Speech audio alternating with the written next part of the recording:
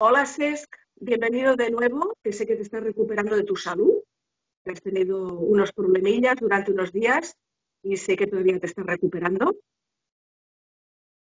Pues sí, muchas gracias por invitarme otra vez, Cris, y con ganas ya de, hacer este programa. Pues sí, a mí me gustaría que esta vez eh, habláramos un poco del tema de, de, Nazca, del caso de Nazca y de mis canalizaciones, y como ya hemos hablado eh, por privado, me gustaría hacer un poco cuatro reflexiones contigo de lo que yo creo que realmente el origen de esta especie, ¿de acuerdo? A mí me gustaría, por ejemplo, eh, comentar pues que de alguna manera cuando en la época de los dinosaurios, cuando hubo la extinción, ¿no? No sé si fue un meteorito por, por algún, por alguna catástrofe ambiental, eh, claro, se, aniquiló toda forma de vida, supuestamente. Yo tengo la teoría de que, al igual que hay formas de vida que aguantan temperaturas extremas actualmente, ¿no? que se encuentran tanto en, volcanes como en la Antártida, en, el hielo, yo creo que podría ser, que cabría la posibilidad de que esta especie de alguna forma se sintieran invadidos o amenazados por alguna cosa, por algún motivo, y se metieran bajo tierra, empezaron a convivir bajo tierra, que en principio a lo mejor no era su hábitat normal, pero debido a la, situación externa se metieron bajo tierra y allí empezaron a convivir. No sé si tú mm, estás de acuerdo con esto, si, si sabes de algún tipo de animal ah, en la actualidad que aguante lo que hablaba, ¿no? Temperaturas extremas. Eh, no sé qué opinión tienes. Si quieres comentar algo. Estoy contigo porque el, ser humano está acostumbrado, ¿no? A cuando hablamos de extraterrestres nos imaginamos el típico ser verde, el ser grande. Y no tiene por qué ser así. Es decir, eh, hay, por ejemplo, Stephen Hawking hablaba de vidas en otros planetas del sistema solar. Entonces, eh, la vida que se da aquí en la, en la Tierra, estamos acostumbrados a que todo gira en torno al oxígeno y al agua, pero y si hay otras formas de vida y hay otros seres o bacterias o virus que no necesiten esas, esas condiciones para vivir. Y es una posibilidad que la especie de, Nazca que se encontró no viviría eh, de fuera, sino que ya estuviera viviendo aquí en la Tierra mucho antes que nosotros y será la evolución esta. Por ejemplo, tenemos el caso de, una bacteria que le llaman el oso del agua, eh, que es capaz de, soportar temperaturas extremas tanto por arriba como por abajo. Incluso eh, son capaces de cambiar su metabolismo, es decir, tienen un 85% de agua y son capaces de reducirlo hasta el 3% y seguir viviendo. Incluso se han encontrado eh, estas bacterias que han estado más de 30 años congeladas y han vuelto a la vida, o han encontrado la misma bacteria en los cohetes que mandaron al espacio, al regresar, volvieron a la vida y en el espacio no hay otro. Por lo tanto, si una bacteria como esta es capaz de convivir en diferentes formas, ¿por qué no ser posible otras formas de vida. Exactamente. Además, yo también pienso que, mm, por lo que yo tengo entendido, hay, mm, aparte, en la especie de Nazca que encontraron, se habla de otro tipo de seres, incluso con cuernos, con ah, plumas.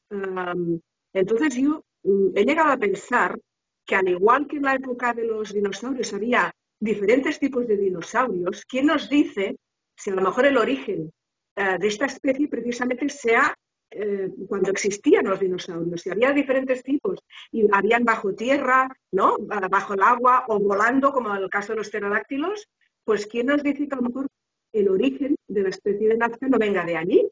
Podría caber la posibilidad.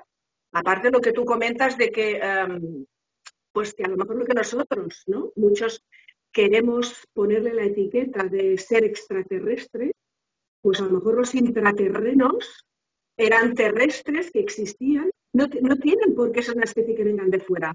A lo mejor ya existían aquí, ya existían aquí antes de la, humanidad, ¿no? Y, yo creo creo que la teoría de que estuvieran bajo tierra para protegerse de alguna amenaza lo, veo, lo veo posible. No, sé. Mm. Aparte hay una cosa. Em, en, una de las canalizaciones mías, em, yo explico cómo eh, una supuesta raza extraterrestre mm, dirigen la distancia a esta especie intraterrena, ¿vale? Y que de alguna forma eh, entre ellos dos hay como un pacto, ¿no? Y entonces yo estaba pensando en las especies terrestres que se nutren mutuamente que tú el otro día me lo comentaste, ¿no? En el caso, por ejemplo, de los elefantes que tienen, creo que me dijiste un pajarito, ¿puede ser especie de un pájaro?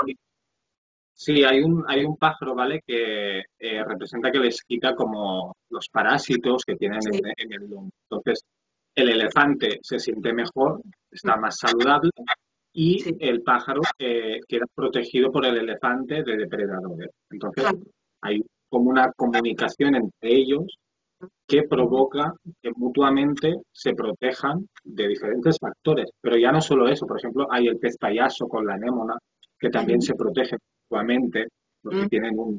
Es el único pez capaz de vivir en una anémona, porque las, las anémonas son, son venenosas, entonces se protegen mutuamente. Y así hay muchas especies que, que consiguen convivir entre ellas, incluso especies que dirías que es imposible que, puedan llegar a, convivir. Si es posible que esto esté pasando a día de hoy, claro. ¿por qué no, no puede ser posible otra forma de, comunicación? Claro, dejando aparte que yo en la canalización lo que yo comento es que la, raza supuestamente extraterrestre, ¿no? mantiene a esta especie bajo tierra los mantiene allí para custodiar supuestamente un dispositivo que ellos necesitan, em, yo creo que había como un pacto, ¿no? O sea, estos intraterrenos, esta especie intraterrena, convivía allí con el pacto de que estaban custodiando algo, ¿no? Vigilando algo. Y claro, en la canalización luego yo explico que si estos seres extraterrestres retiraban lo que estaban custodiando, de alguna forma eh, estos seres pequeños se, sintieron amenazados, sabían que su especie se podía extinguir, ¿no? Podían acabar con ellos. Y de ahí viene esa lucha que yo explicaba en la canalización en el programa de Joseph, donde yo comento que hay, un enfrentamiento, ¿no? Luego también quería comentarte, bueno, se dice, hay la teoría de que existe un pacto entre seres extraterrestres y humanos, los seres humanos, ¿de acuerdo? Que hay como un pacto de que se permiten las abducciones y que experimenten con los seres humanos em, a cambio de tecnología avanzada. Esto podría dar explicación a muchas de las cosas, muchos de los casos que existen en seres humanos, incluso eh, el tema de los implantes para vigilarnos de alguna forma, porque hay, existe un cirujano, existen cirujanos que se dedican a retirar implantes físicos de seres humanos que de golpe encuentran una cicatriz o se encuentran con algo. Eh, además, también les acompaña como, como, una amnesia, ¿no? Saben que algo les ha ocurrido, pero no recuerdan muy bien por qué. Entonces, yo creo, mm, yo creo realmente que el gobierno nos esconde muchísimas cosas. Aparte, dejando el tema de que el caso de Nazca no interesa que se haga oficial, ¿no? Porque entonces no se, no se venderían las piezas eh, arqueológicas ni los cuerpos. Y vete a saber tú si en el, en el caso hipotético que se vendan estas piezas a coleccionistas, ¿quién nos dice si detrás no hay unos laboratorios subterráneos que están experimentando con estos cuerpos o con estas piezas?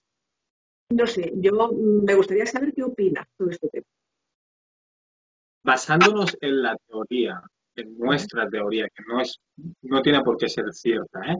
de que hubo un pacto o que hay un pacto entre esta especie y algo extraterrestre, de que ellos protegen eh, esa piedra, además que llevan unos dispositivos, unos implantes para tenerlos controlados, y hay una especie de paz entre lo extraterrestre y esta especie, ¿por qué no puede pasar en la humanidad? Hay muchísimos casos de personas que han dicho haber visto ovnis. Muchísimas personas que han dado testimonios de que han sido abducidos por, por extraterrestres. Entonces, si nos basamos en la teoría de que posiblemente esto haya pasado con la especie de Nazca, ¿por qué no puede pasar también con la humanidad?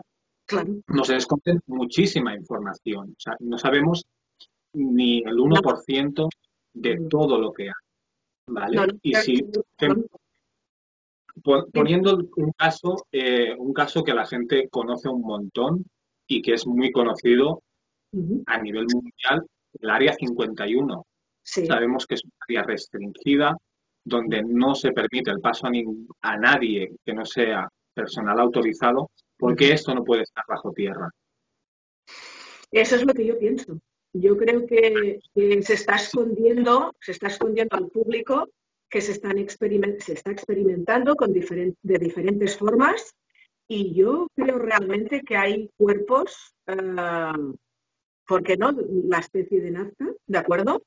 Y quién sabe si incluso no puedan tener algún ser vivo, alguna, alguna especie, algún cuerpo que esté vivo y lo estén manteniendo allí y le estén haciendo experimentos. Eh, no sabemos nada realmente. Es que todo, todo son teorías, lo que estamos hablando tú y yo, ¿no? Porque no tenemos pruebas. Pero mm, yo, sinceramente, al igual que yo el otro día te comentaba, ¿no? Por ejemplo, nosotros, el ser humano está convencido que es terrestre, que viene del planeta Tierra. Yo hay momentos que pienso que al igual que tú cuando plantas, por ejemplo, un rosal, tú coges la semilla, la estás introduciendo en la tierra de la maceta, ¿de acuerdo? Y, bueno, le, pones agua, lo pones al sol, ¿de acuerdo? Y aquello florece. Pero el, rosal, el rosal no viene de esa tierra, ¿de acuerdo? Entonces sé que a lo mejor es un ejemplo un poco simple, pero yo creo que mm, al igual que el rosal no forma parte de esa maceta, alguien la ha introducido allí y con el clima se ha desarrollado, ¿vale? Ha crecido, pues ¿por qué no puede ser que el ser humano no vengamos de aquí, seamos un experimento y el lugar que han decidido a meternos es la Tierra? Porque hay un clima, eh, bueno, mm, mm, beneficioso para nosotros, ¿no? El, que necesitamos para sobrevivir. Hay unas condiciones que nos ayudan, el tema de la gravedad y de todo. Y yo creo que mm, decir que el ser humano viene de la Tierra lo veo limitado. No, tenemos por qué venir de aquí. A lo mejor venimos de, otra parte y simplemente nos han depositado aquí y hemos ido desarrollándonos, ¿no? Eh, no sé qué opinas sobre esto. que veo que sonríes. Mira, eh, ahora que estabas diciendo esto, que esto no lo comentamos por privado, me ha venido aquí una paranoia Sí. ¿Y si nosotros somos la evolución de los dinosaurios? Es decir, igual que cuando nosotros plantamos la semilla en la tierra y con unas condiciones exactas, esa planta evoluciona de tal forma que crece, florece y después pues se, marchita, ¿por qué no puede ser que nosotros, cuando hubo esa catástrofe del meteorito, eh, una especie se introdujo en la Tierra y cuando pasó todo un poco, esa, esa especie que se metió, la mitad decidió salir a explorar y evolucionar y la otra se quedó por miedo o por otras cosas que decidió quedarse dentro de, de, la Tierra. Es otra posibilidad que no habíamos contemplado. No, desde luego. Desde luego. Es que a ver, las teorías, sí, perdóname, no decía que las teorías son tantas y que no sabemos nada. Y aparte, no solo esto, em, yo creo que la versión oficial mm, omite muchas cosas, hay muchos detalles, está plagado de, pruebas en diferentes culturas, en petroglifos, en piezas arqueológicas, donde eh, muestran otros tipos de vida, ¿vale? Que no son humanos. Está plagado de seres con tres dedos, tridáctilos, eh, reflejados en, piedras, reflejados en pinturas, reflejados en, piezas arqueológicas. Entonces, caramba, yo llego a un punto que pienso, mm, claro, a lo mejor nosotros estamos aquí, tenemos conciencia de que estamos aquí, pero quién sabe lo que ha habido antes y que no tenemos conocimiento, pero a lo mejor no hemos encontrado supuestamente evidencias. Yo creo que sí que las hay. Yo pienso que está lleno de evidencias. Y no, y el que no quiera creer, yo pienso que, no sé, no sé qué opinas tú, Cés, pero es que mm, en el grupo lo hablábamos, ¿no? En el grupo de Nazca, que siempre hablamos de estos temas, lo hablábamos. ¿Sabes? Porque aparte del tema de corrupción y del movimiento económico que hay detrás de todo esto, tanto por parte de, gobiernos como la élite, como lo que haya, porque hay una corrupción brutal. Con toda la información, yo creo que otra de las opciones por lo que no sale a la luz este tema en concreto, ¿vale? Es porque no es terrestre. Y te, comento, eh, cada día o cada año se descubren especies nuevas que nunca se habían visto. Por ejemplo, hay casos en el océano. Hay especies que están viviendo a 12.000 metros de profundidad que no necesitan luz solar, que son transparentes. Cierto, sí. Pero ¿por qué se demuestra que existen estas especies? Porque necesitan oxígeno para vivir y necesitan agua para vivir. Sí, Esta especie intraterrena de, de los seres de Nazca eh, no se ha demostrado que necesiten oxígeno y agua para vivir. Puede ser una posibilidad de que, como no se puede demostrar, claro, es una justificación, ¿no? Respira oxígeno y necesita agua, ya está. No hay problema porque no supone un peligro para la humanidad. Mm, a ver, claro, estamos hablando entonces que el ser humano eh, tiene una percepción muy limitada, ¿no? Que descarta, para mí, una mente muy cerrada, ¿no? De descartar eh, formas de vida eh, que no encajan Mm, a nuestra forma de, convivir en la Tierra, ¿no? O sea, mm, yo no entiendo cómo el ser humano a veces no se, no abre un poco, eh, expande la mente, ¿no? Y se da cuenta que mm, cuando se habla de, seres en otros planetas o de vida en otros planetas, es que puede haber em, seres microscópicos. No tiene por qué ser lo que tú decías antes, el típico ser verde, el marciano, ¿no? No tiene por qué ser eso.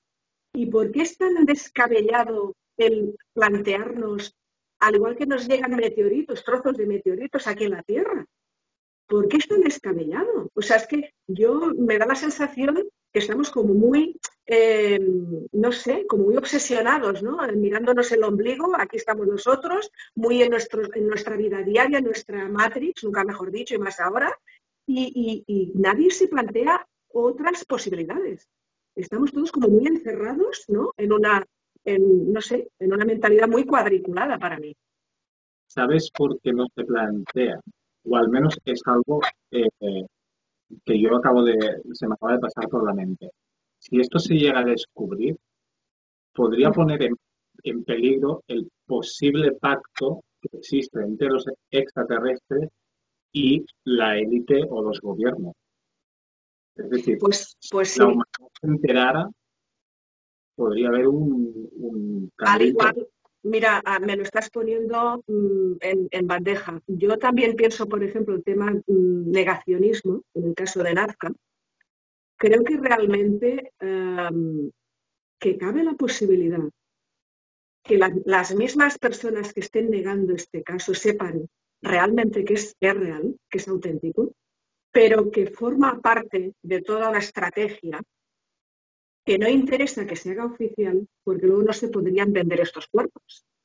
No podrían, si se hiciera oficial que esto existe, que es auténtico, eh, lo tendrían que, bueno, que dejar en un museo y no se podría, desde luego, ni experimentar ni hacer supuestamente lo que ahora deben estar haciendo en algún lado, porque no hay control de las piezas que se están vendiendo fuera de, de Perú, ¿de acuerdo? Entonces, Mm, yo pienso o intuyo, o mejor dicho, siento, que el tema negacionismo forma parte de, todo este entramado y que yo pienso que también es como una distracción. El negacionismo es como una distracción.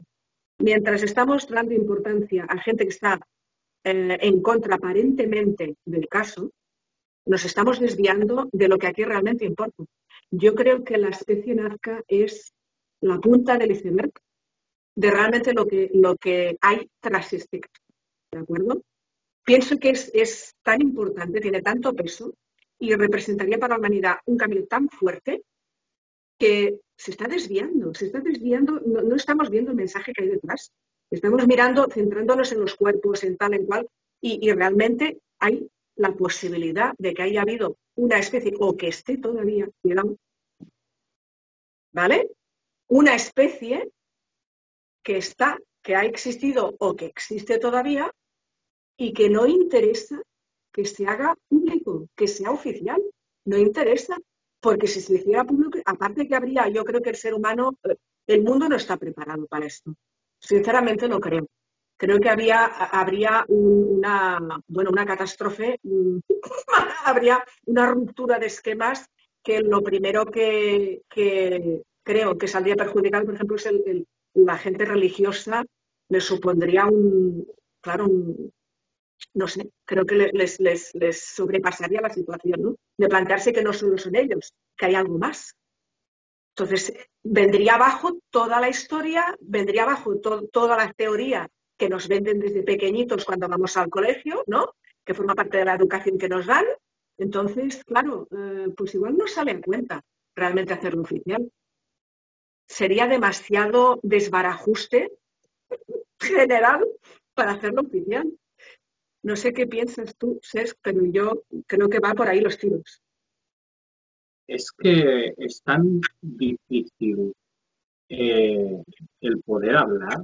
Es decir, tenemos que ir con tanta cautela a la hora de, medir nuestras palabras.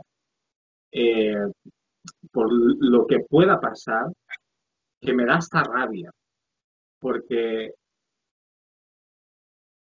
Tú bien sabes, tú bien sabes que depende de qué temas tocamos cuando hablamos por teléfono. Tú bien sabes que, sufrimos interferencias. Y eso que hablamos por privado. O sea, imagínate en público. Entonces, eh, bueno, eh, parece ser que hay teclas que no se nos permite tocar, ¿no? Eh, yo te diré una cosa que no lo he dicho todavía, nunca, en ningún programa. Yo cuando empecé a colaborar con Joseph eh, en, el caso, eh, a mí se me amenazó. Se me amenazó, se hizo un comentario amenazándome que, yo no podía estar eh, defendiendo este caso. Entonces, ¿por qué, ¿por qué será que todas las personas que han apuntado maneras, que han destacado por tener una, opinión fuera de lo normal, ¿no? Sobresalir un poco, destacar de la mayoría. ¿Por qué será que para mí, personas que, marcaron la historia, no se les ha permitido e incluso se les ha aniquilado? ¿Qué habrá detrás? ¿Qué ocurre aquí? ¿Por qué, ¿Por qué se capa al ser humano a este nivel? ¿No interesa que el ser humano sea libre? ¿Que, acceda, al conocimiento que realmente está aquí? Porque está aquí. Está lleno al, descontrol, a la anarquía, a una utopía, supongo. Es decir, nos tienen tan encasillados y nos tienen tan encerrados en, una jaula imaginaria a cada uno de nosotros, que supongo que cuando abren la jaula a ciertas personas para que entren en el juego que ellos quieren y ven que, se, que se descontrolan, Está claro. nosotros dos que estamos tocando ya y cruzando líneas que no deberíamos, supongo que cuando les pasa eso, eh, dicen, ostras, apartamos a esa persona del medio y vamos a probar con otra. O bueno, o, a lo mejor también nos lo permiten para ver hasta dónde llegamos, ¿no? Ya, pero después no la aniquilan, no la parte. No, claro. Pero ahí, ahí ya yo creo que ya tiene que ver más con un tema económico con Tesla, por ejemplo, cuando, cuando él defendió ¿no? sus, estudios y quiso ayudar a la humanidad, eh, pues está claro que aparte de que desapareció toda la documentación que él tenía, eh, pues no interesaba. Para el sistema, tal como está montado, habría gente que dejaría de salir beneficiada y no interesa. Sí, pero ¿cómo ganas más tú? ¿Vendiendo una casa o alquilándola?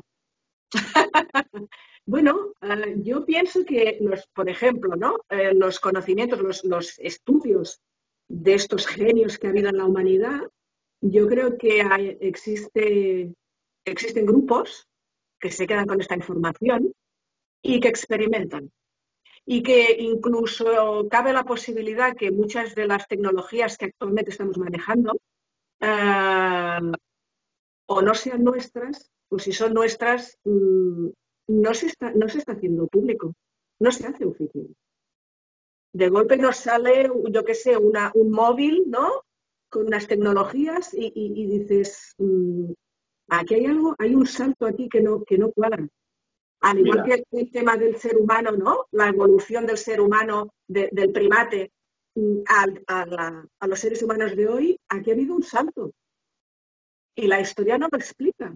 Entonces, em, yo, a mí me gustaría que la gente eh, se replanteara, no, no que nos crea a nosotros, pero que como mínimo se replantee si realmente lo que nos venden es la realidad, es la verdad absoluta de lo que hay. Mira, te voy a poner un ejemplo muy sencillo, muy sencillo. Eh, en la prensa del corazón, por ejemplo, cuando sale una noticia y no salen los protagonistas de esa noticia a desmentir o a decir la verdad, se está meses y meses hablando y especulando y no sé cuándo. En el momento que sale la persona, esa noticia se acaba. Se habla uno o dos días más y se acaba. Pues pongamos esto en el tema extraterrestre es algo que la gente lo sabe, que hay pruebas, que mucha gente los ha visto, que se habla, que no se puede ocultar ya, porque es imposible ocultarlo. Es tan fácil como decir, sí, existen, hay esto, pum. Y la gente para ti. se acabaría el morbo de... ¿Y, qué, interés, ¿y qué interés crees que hay, eh, mm, mm, ah, poniendo este ejemplo, ¿no? que has puesto ahora hace un momento, ¿Qué interés realmente crees que hay de ir alargando esta agonía? Para mí es una agonía porque me encantaría que lo hicieran oficial, sobre todo para callar bocas, ¿no? Porque parece que los que eh, creemos en esto estamos locos, ¿no? Y, bueno, y se nos va la olla. ¿Qué crees que hay detrás de, esta estrategia de no hacerlo oficial y de alargar mm, esta situación y de dejarnos a todos por locos? Desviar el tema principal. Es decir, mientras tengas a cuatro tontos pendientes de un platillo volante y, diciendo, mira, existen los extraterrestres, sí. por el otro lado, ellos van trabajando y te van, y te van haciendo cosas mucho peores que un platillo volante que está en el cielo. Entonces tienen a los, a los bueno, perdón por tontos, pero tienen a, las cuatro personas mirando al cielo, todos, mm. oh, que sí que existe, no sé qué, y el, y el otro viene, que no existen, que estás loco, y mientras ellos discuten y se pelean, ellos por detrás van haciendo. Es una estrategia de distracción. Claro. Como en las noticias, como en las noticias, llevamos un año con el tema del, coronavirus. Cuando, por ejemplo, se acabó la primera, con la primera ola, al menos aquí en España, enseguida ya hablaron de las playas, los restaurantes. Ya no había virus, no existía. Cuando la segunda ola, después ya hubo atentado, que han vuelto, han vuelto los atentados y el virus quedó aparcado, ya no interesaba el virus. Cuando no sé qué, otra vez la tercera ola. Ahora ya hablan de Semana Santa, que si van a abrir comunidades, no sé qué, no sé cuánto. Pero ya, ya están especulando sobre una cuarta ola que vendrá en mayo. ¿eh? Pero mientras ya te dicen que vamos a abrir en Semana Santa, vas a poder ir a la playa, ya no existe el virus, los casos han bajado, hay que unir todo. Porque me imagino que no pueden retener eh, a los seres humanos encerrados de por vida. Entonces lo van haciendo una de cal, otra de arena, ¿no? Nos van distrayendo de esta forma para someternos, entre comillas, porque yo creo que el ser humano, espero y confío, que en algún momento despierte y se dé cuenta de esta estrategia. No estoy diciendo que no exista el virus, ¿de acuerdo? Yo no soy, no soy ninguna especialista ni experta para decir ni desmentir nada, pero sí que es evidente que aquí hay, un mareo, nos están mareando de una manera, llevamos ya un tiempo, y yo confío que la gente empiece a despertarse dé cuenta. Eh, y sobre todo, y sobre todo las secuelas, las secuelas que yo hablaba ayer con una amiga mía, las secuelas a nivel mental de los niños, de verdad que yo me parece terrible. Los niños pequeños están normalizando llevar mascarilla. El día de mañana tal vez tengan que ir a tratamiento para poder quitarse la mascarilla, para poder convivir y relacionarse sin mascarilla. Esto es tremendo. O sea, lo del virus es un ejemplo igual que el tema de los extraterrestres, es para que la gente nos entienda. Es decir, sí, claro. a un grupo de personas, teniendo en cuenta que utilizamos solo un 10% de, de nuestra capacidad. Sí. ¿vale? Eh, tenemos una mente prehistórica. somos prehistóricos mentalmente. Entonces, si tenemos a una élite que es mucho más avanzada, que tiene la tecnología suficiente, tanto eh, física como mental, de manipular al resto de la población, y tienes a, cuatro personas o a un grupo de personas con una mentalidad prehistórica que utilizan una piedra para encender un fuego y calentar un trozo de carne, mientras tengas a esto controlado, lo demás se da igual. Te ponemos un virus, te ponemos los extraterrestres, te ponemos una película en la tele para que te distraiga. Te damos el caramelito, después te lo quitamos, pero nosotros por detrás te la clavamos. Sí, sí, sí, ahí está, ahí está. Y lo peor, y lo peor, lo peor, y para mí lo más triste, es que encima si, si retiras de alguna manera el alimento, entre comillas, ¿no? que se le está dando a la población, encima hay, eh, hay todo un sector que se quejan. Cuando les retiras ese alimento, encima se quejan. ¿Por qué? Porque están tan acostumbrados desde pequeños a este tipo de alimento que cuando les quitas eso, ¿qué hacen? Es, es terrible lo que estoy diciendo. La gente cuando mm, en la película Matrix lo hablan, ¿no? Hay gente que haría todo lo posible, mm, defendería con su vida estar conectado al sistema, a la Matrix, porque no conocen nada más. La gente cuando la quitas de sus sistemas mentales se sienten perdidos, se sienten vulnerables. Esto es terrible. Yo, mm, a mí, cuando me visitaste aquí en San Felipe, yo intenté de alguna manera que ayudarte, ¿no? Porque creo que tienes un potencial y intenté precisamente sacarte de esa matrix y hacerte ver el mundo energético que nos rodea, que es apasionante, es apasionante, y, salir un poco de, ese programa mental que nos meten desde pequeñitos. Es mucho más fascinante, pero claro, no debe interesar que seas un ser humano libre y que pienses por ti mismo, no interesa.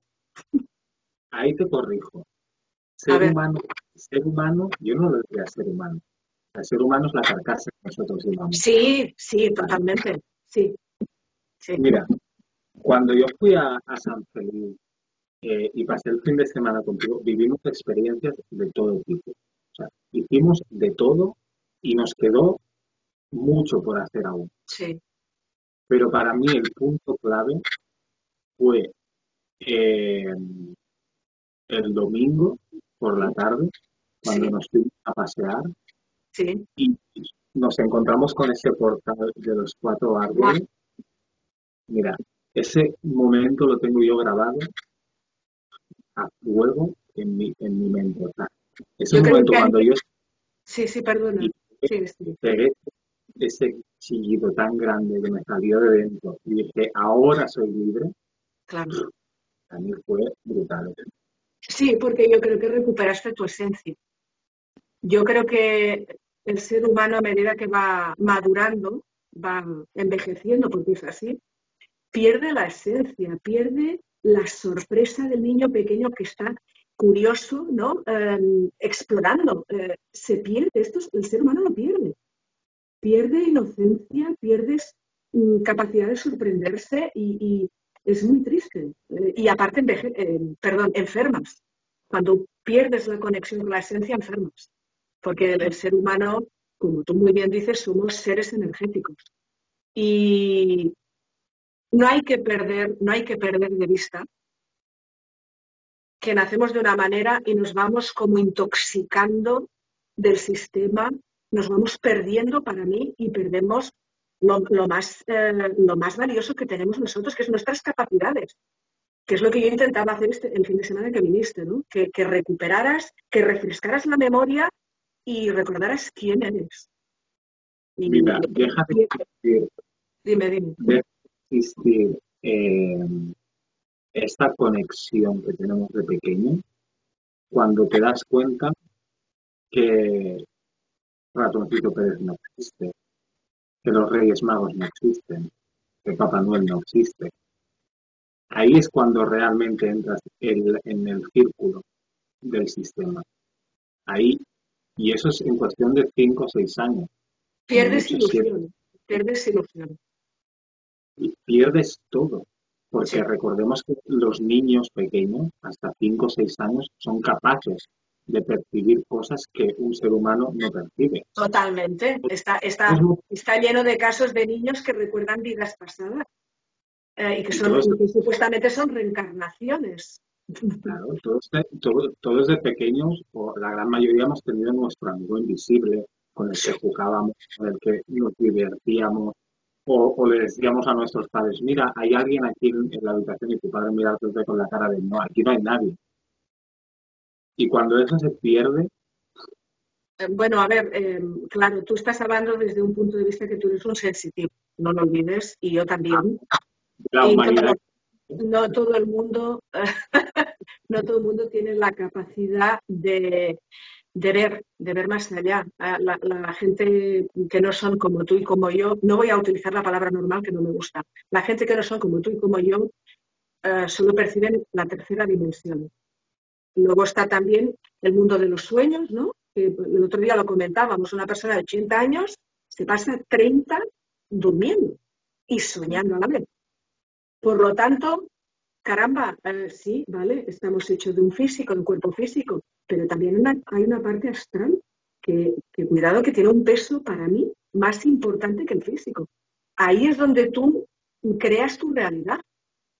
A nivel astral, tú creas tu realidad según, según el estado de conciencia que tú tienes, tienes una realidad u otra. Y yo creo que esa es la labor que yo, bueno, que tú y yo hicimos, ¿no? El fin de semana que pasamos juntos fue tomar contacto, no perder el contacto con ese, con ese mundo. Es que ahora que comentabas esto de, los 30 años, eh, y es verdad que, que, lo hablamos, que una persona de 80 años, cuando tú has desglosado toda la vida, todo lo que has hecho durante la... que has vivido 20 años de los 80. Pues sí, realmente, porque si, si, si eliminas eh, los años que, ¿no? que se dedica para descansar, dormir o soñar, luego hay lo que es el, alimentarte, el ir a trabajar, el, ¿qué, te, qué, te queda? Nada. ¿Qué te queda? El sistema está hecho muy mal. Los niños primero deberían de jugar y luego, cuando su mente le pida, absorber información. Todo, me parece que el sistema no está bien montado. El niño no, tendría que estar sentado en una silla obedeciendo y absorbiendo información. Yo, por ejemplo, estoy disfrutando más de absorber información ahora con 50 años que cuando era una niña. Yo cuando era niña tenía ganas de jugar y de hacer otras cosas no, no de estar encerrada en un sitio, aparte que yo no encajaba para nada, lógicamente, con, los demás. Em, claro, yo ojalá en un futuro, ojalá en un futuro existieran escuelas donde aparte de las asignaturas que actualmente existen, hubiera la asignatura de los sueños, la asignatura del, mundo energético, sería fantástico, ¿no? A mí me encantaría. Igual, igual eh, me estoy avanzando en lo que estoy diciendo y a lo mejor existiera. No lo sé. Ojalá. Lo desearía realmente que, que no se niegue esta parte del ser humano. Es que se ha separado, se nos ha anulado esa parte. Y el ser humano es mucho más. En fin. Claro. Eh, en nuestro caso no somos padres, ¿vale? Pero yo estoy trabajando de canguro actualmente y estoy cuidando a un niño que tiene dos años. Yo lo llevo a la, a la escuela a este niño. Está eh, tres, cuatro horas, depende del día, está incluso más horas. Un niño de dos, de dos, horas, de dos años eh, encerrado tantas horas en un sitio sin disfrutar de tan pequeño ya. Piensa que cuando ya estamos eh, a los cinco años, que ya pasas a primaria, estás ocho horas encerrado en una sala sentado en una silla aprendiendo cosas que en un futuro no te van a servir de nada. Se lo impone. de nada. Se lo impone. por eso yo creo que el, mundo de la educación eh, está, para mí es muy retrasado, tremendamente retrasado.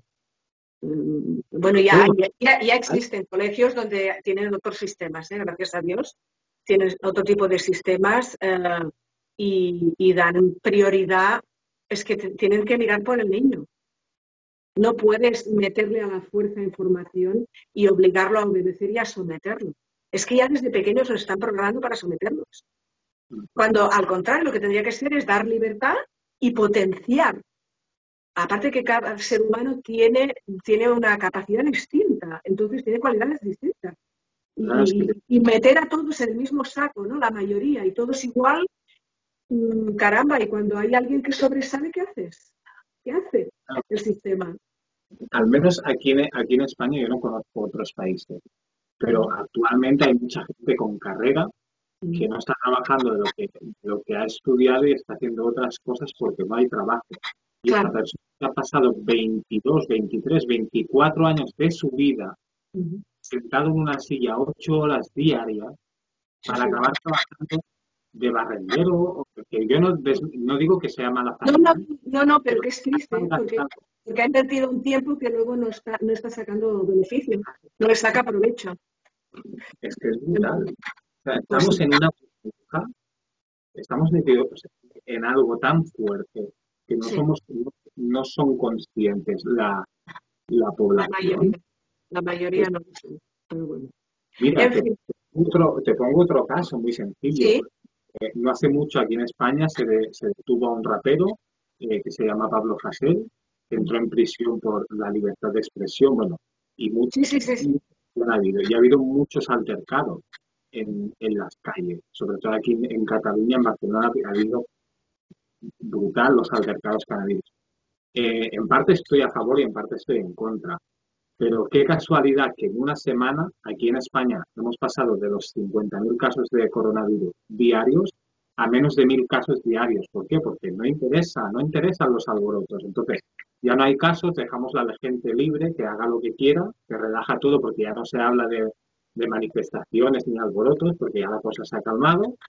Y cuando es que es todo, está todo tan hay corrupción en todos lados, no solo en política. Hay... No, evidentemente, está en, todos, en todas las ramas. Evidentemente no solo en un sector, está en todos los sectores. Ah, bueno, eso lo sabemos tú y yo, ¿no? Ah, siendo del mundo paranormal, sabemos, ah, bueno, pues los hilos que se mueven cuando no interesa, ¿no? Una persona.